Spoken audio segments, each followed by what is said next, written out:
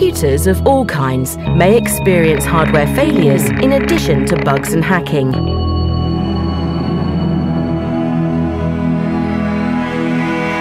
Microchips used in modern computers are relatively robust and fail only in extreme circumstances.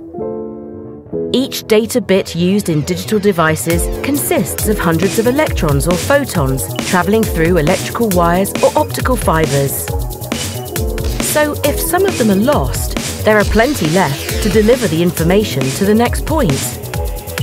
Unlike digital devices, quantum computers rely on single particles to represent their qubits.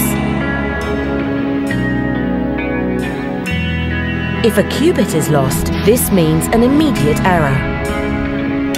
A quantum particle, be it an electron or a photon, is extremely sensitive to its surroundings. Any noise in the environment will destroy its quantum coherence. How can we keep many of them in sync or maintain coherence between many quantum particles to build a real quantum computer? Here is how. Think about a donut. This geometrical object is also called a torus. We can securely tie a loop through a hole, which will remain no matter how the torus is deformed. Unlike a flat surface or a sphere, where a loop can easily collapse under a small change.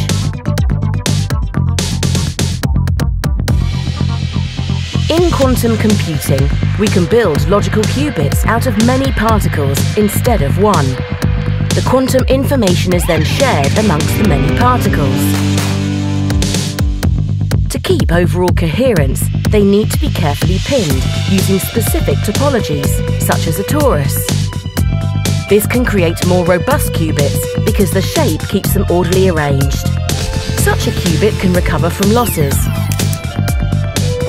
and is more robust to external noise, mitigating errors and maintaining coherence.